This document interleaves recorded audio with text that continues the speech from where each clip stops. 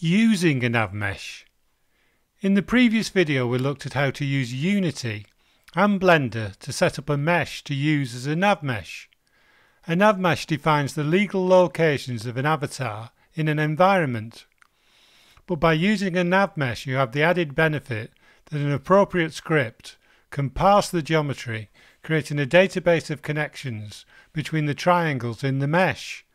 Using this database a path can be calculated between points on the mesh. To work along with this video, open the file game.js in the folder www forward slash start from the resources you downloaded in the previous video. A complete version is available in the folder www forward slash complete. This example uses modules. If you're new to modules coding, here's a useful introduction. Notice that game.js imports the Three.JS library, GLTF loader, RGBE loader, and dat.gui. These all come from the Three.JS repo, although relative paths have been changed in the files. In addition, we add three-pathfinding.module from Don McCurdy's excellent pathfinding library, which you'll find at this address. The README for the repo has some excellent documentation. There are also a couple of classes that I've created, player and loading bar. More about these in a moment. The template sets up a typical Three.JS app with a scene, a camera and a renderer. Because we're using GLB files, it's important to add an environment to the scene.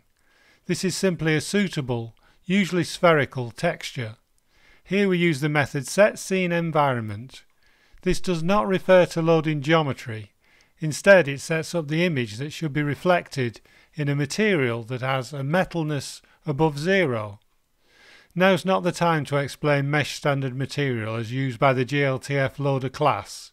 Suffice it to say if you fail to provide a texture for the scene environment property, many meshes will be far too dark as they will reflect black instead.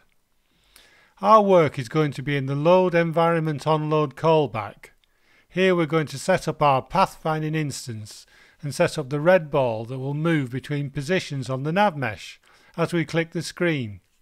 First let's traverse the GLTF scene to find the nav mesh.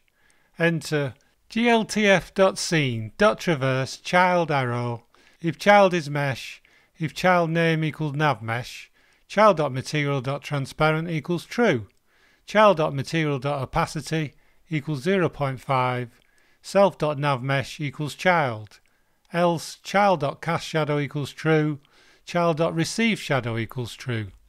If we find a child with the name navmesh, then we set it as transparent with an opacity of 0.5. A real application would simply set the child.material.visible property to false. It is important that you do not hide the child itself, just the material. If the child is hidden, then clicking with the mouse would not find the intersection of the mouse position and the nav mesh. It's a good time to review this code. It's defined in the init method. Notice we create a raycaster and add a click event to the renderer's DOM element. In this event we convert the click position, which is in screen coordinates, to normalized device coordinates. That's minus 1 minus 1 at the bottom left and 1 1 at the top right. Then we use the raycaster method set from camera to create the origin and direction for the raycaster. The raycaster has a method, intersect object, that takes a single mesh as a parameter. If an intersection is found, then the method returns an array with a length greater than zero.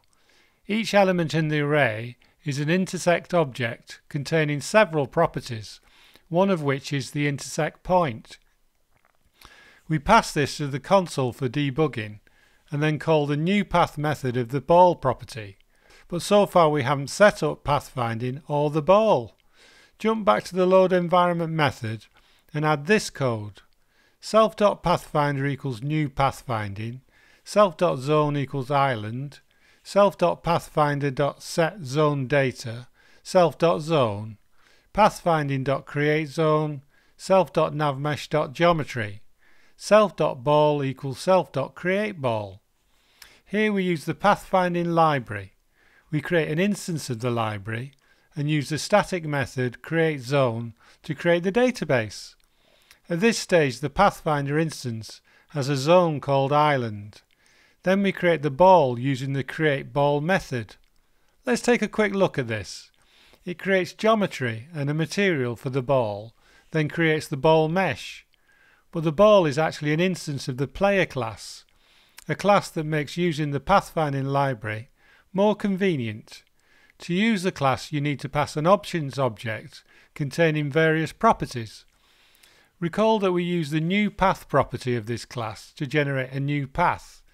Then in the render loop we use the update method to ensure that the ball moves along the calculated path. Let's take a look at the new path method.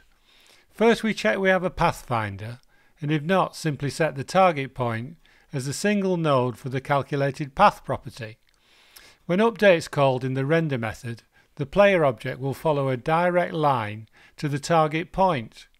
The call to set target direction creates a target quaternion that will position a mesh so it points towards the target. The update method will then interpolate from the current direction to this direction. The real magic happens with the find path method of the pathfinding library. This takes two positions. Here we use the player's, the ball in this instance, position and the target position, the zone that we created data for, in this case island, and the navmesh group, the group the player is currently in. This may return null or a path of length 0, in which case if we're currently displaying path lines we remove them. If we do have a path, then we set the target direction and if path lines should be displayed we generate and show them. A simple example will help you understand the update method. Suppose the calculated path has two nodes, like this. A node is simply a vector 3 value, a vector with an x, y and z value. Suppose our avatar is here, pointing in the direction of the arrow. The first target node is this one. We want the avatar to move along this line, orientating it to the direction of movement as it does. The first thing we calculate when beginning a new section of the path is the direction that our avatar should adopt to be pointing towards the target. We use the method set target direction to do this and it sets the class property quaternion. Each update will rotate the avatar closer to this direction by using the quaternion method slerp, which performs a spherical linear interpolation. During a section, we get a vector from the current avatar position to the target. Then check the length of this vector squared. We're only using squared because it's a little quicker. If this value is greater than 0.01, then we need to move along this segment.